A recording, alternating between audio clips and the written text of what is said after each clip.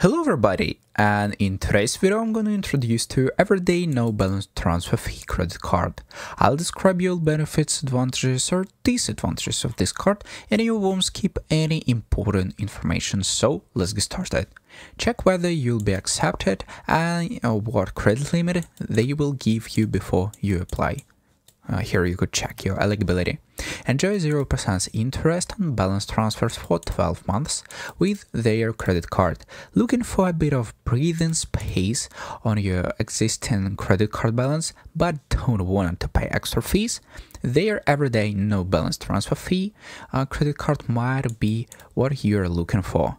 With the no fee to transfer your balance and 0% interest on balance transfers for 12 months, their card is ideal for those wanting to keep costs low.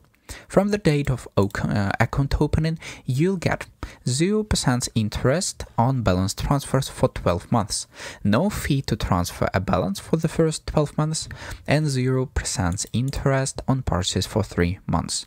Important to know, you'll get no monthly account fee. And you can apply if you're 18 and over and live in the UK permanently. Uh, you have uh, an income of 10,500 pounds plus per year and you don't uh, already have another this card. Representative example. Representative equals to 23.9% APR, purchase rate equals to 23.9%. Assume credit limit equals to 1200 pounds and monthly fee equals to 0 pounds. Here you could find balance transfer calculator. All you need is just uh, enter your personalized, uh, personalized data and you'll get your personalized result. So convenient, isn't it? So if you found this video helpful and suitable, you just give it a like and subscribe to my channel. Have a nice day. See ya.